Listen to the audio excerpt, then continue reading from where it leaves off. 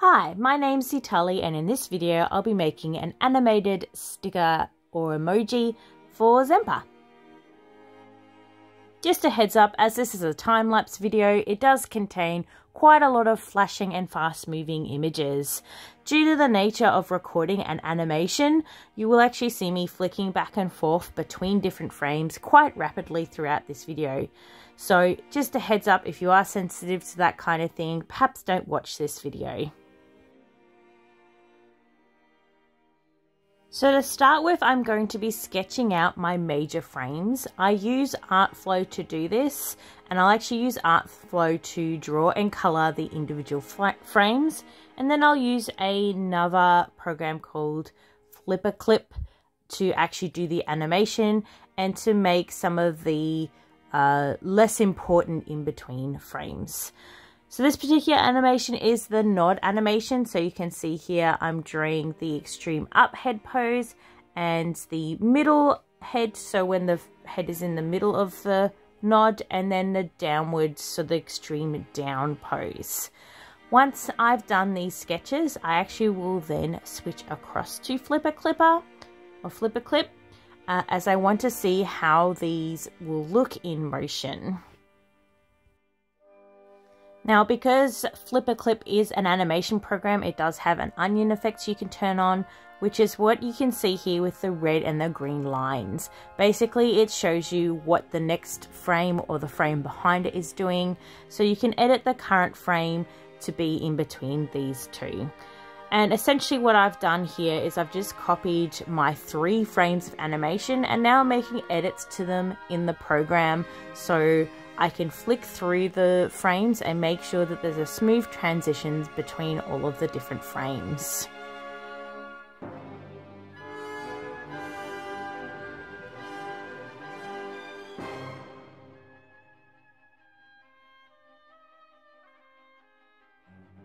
Once I'm happy with how the animation sketch is looking, then I pass it back to Zemper to make sure that they're also happy with it before I proceed with actually coloring and line arting all of these frames.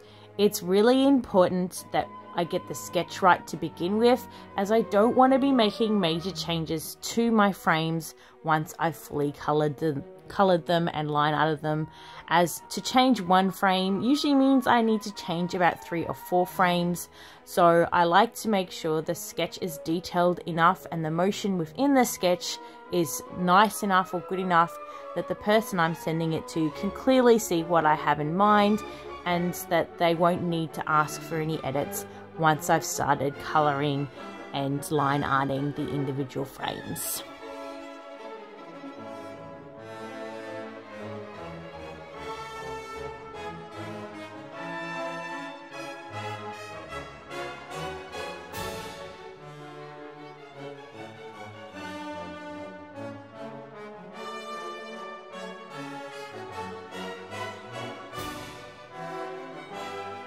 Once we're happy with how the animation sketch looks, I then will actually export this animation as PNG frames. So there's a way you can save in this way. Basically, you go to make the movie, instead of selecting a, a JPEG or sorry, a MP4 or a uh, GIF file, you can actually select to save it as a zip file that has all the individual frames saved as PNG files. And the reason I do this is so I have all of the frames saved separately and then I can load those frames into Artflow and then continue to draw them from Artflow.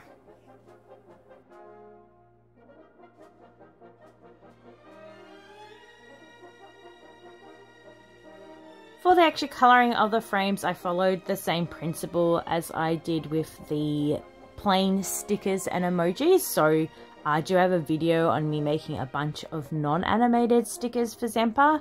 And so I just stick with the black outline using the bamboo pen and I just use the exact same colours I used for the stickers as they are, you know, there's a swatch for Zemper's character that I stick to when making art for them.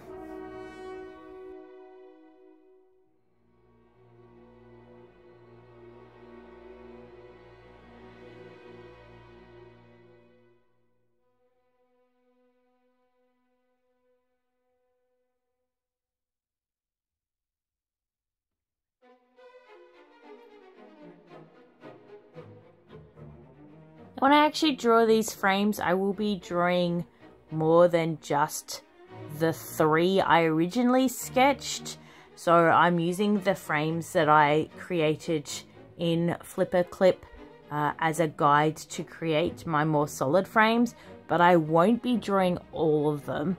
I used to draw every single frame individually and then color it all and then load it all in, but honestly, so these frames go by so quickly, you're not going to notice if one of them has just been edited in the program itself.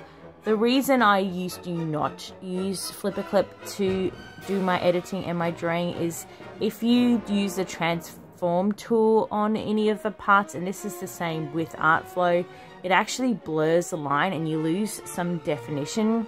So if I if I have an important frame, I'm always going to draw it fresh in Artflow so that the lines are crisp.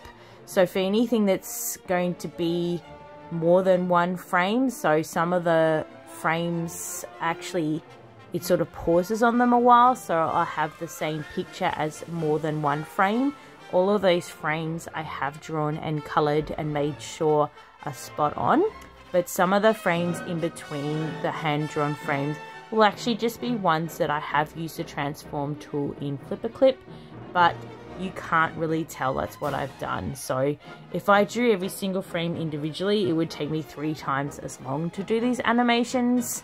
And um, as I said, I used to do that, but after sort of learning ways to do animations a bit better in the program itself, I found this is an easier method and looks just as good, especially if I play around with the frame rate as well to make sure that the motion still comes out good. Now this did take me four hours to do an animation and that is generally how long a simple animation like this will take me. The shake head animation I did for Zemper as well, uh, that actually took me less time. It was a less complicated to draw a shake head, which is essentially just the front on face and then two side faces. Uh, doing the nod is a bit more complicated because I do actually have to draw like the underside of the head and then the top of the head and the you know the front on sort of look as well. So it is a little bit more complicated than the shake head animation so it did take a bit longer. The last animation I did for Zemper was a waving hand animation and does contain more than just the head. So it's sort of like a laying down pose uh, from uh, I guess a torso up and they're waving at the camera. The actual motion itself didn't take me too long, but because I had to draw a full dragon, and I did try a couple of different ways of doing this and undid a bunch of my own work, so this did take me a bit longer than the nod animation.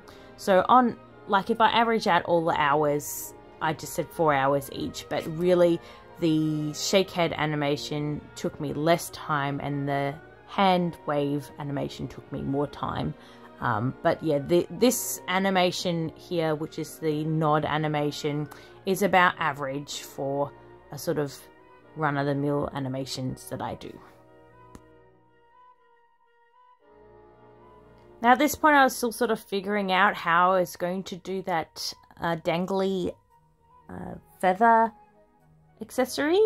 Uh, originally I had it completely on a separate layer. So you'll see me now creating a separate layer for the dangly. But one, once I started animating it, I realized that I actually want the leather strap that's holding onto the horn to be part of the dragon's layer and just the part that dangles down to be a separate layer as I don't ever really want to change where the leather strap is positioned on the horn in comparison to the dragon. Uh, I just want to change where the dangle, like how the feathers and the dice are flowing. So after this first frame, I did the separate uh, the separate accessory. After that, I draw the leather strap straight onto the line art and color it with the rest of the dragon's frame. And I just do the dice and the feather as a separate layer. So you can actually load different layers into Flipper Clipper. It does have the ability to have several different layers so I can edit things independently, which is what I do to get the motion for the accessory. You can also color, cut, erase, and do quite a lot of other art type of programs in Flip FlipaClip, but I do find that because it's more focused on animation, it doesn't have the pen pressure sensitivity I'm used to, so I just can't get nice sharp lines like I do in Artflow, which is why I will stick to using Artflow, the actual drawing of the frames, rather than using FlipaClip to do draw all of it in. I prefer to do this sort of half and half method.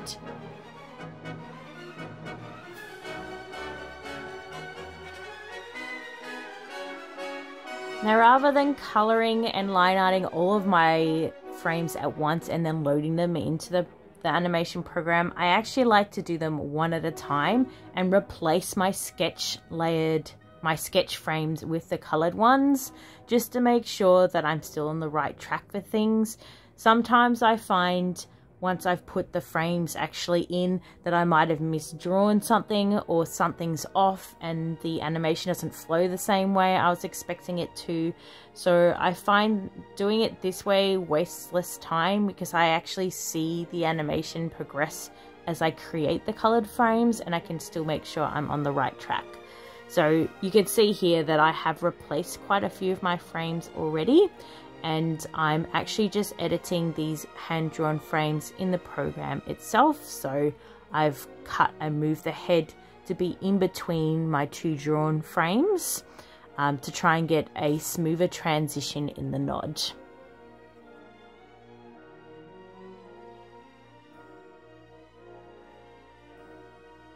I actually learned a lot about how things move whilst doing this animation. I have already done quite a lot of animations for uh, of Dragons Discord. It's a, a game that I help create the comic and I do Discord stickers for and stuff. And I've done quite a few animated stickers for them, but none of them really contained any loose hanging things that sort of flow or move with the motion of anything. So I found learning how to make this dice and feather accessory move. Quite an interesting process. Originally I had it wrong, so as I moved the head I had the motion of the feather going in the wrong direction and I had to change it and fix it. But I actually found this process to be quite pleasing. I quite enjoyed the motion of the feather and the dice and like trying to keep in mind the weight of the dice and how the feather is lighter and how how it would move in relation to the direction that the dice are moving and the head is moving. It was quite an interesting exercise, and I did learn a lot about the the sort of movement of objects, I suppose.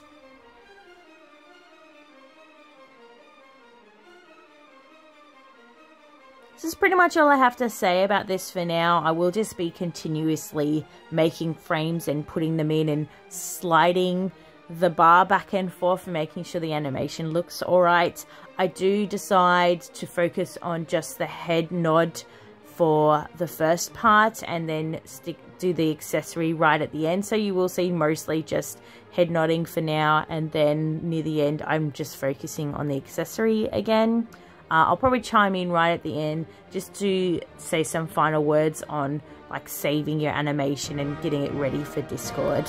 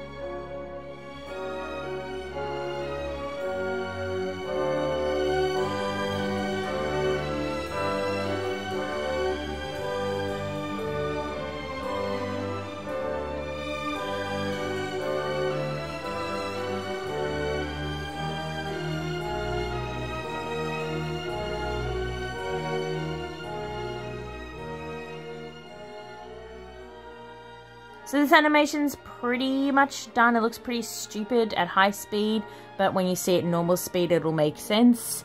Uh, just a note on saving your animation. If you are making animation stickers for Discord, there's a couple of things you need to keep in mind. Uh, FlipaClip can only save as GIF files, but they do actually need to be APNG files. So I use an online converter to convert them from a GIF file to an APNG file. They do need to be below 512 kilobits uh, in order to be uploadable to Discord. So I also use the optimization tool in the web app converter uh, to compress it and make sure it's the correct size. If you are making a complicated animation, it is a good idea to try and limit your colors as you will find it exceedingly difficult to get it below the 512 kilobyte limit if you have too many frames and too many colors. I had this problem with the Get Well sticker for the Day of Dragons Discord.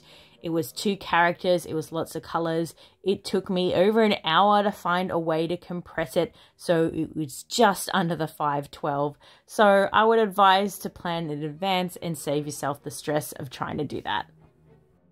Here it is, the finished Nod animation. I'm quite happy with it. I really like how the dangly moves back and forth and the movement of the Nod, and I hope you like it too, Zemper.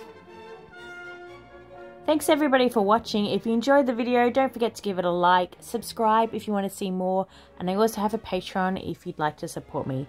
Thanks again for watching, and we'll see you all next time. Bye!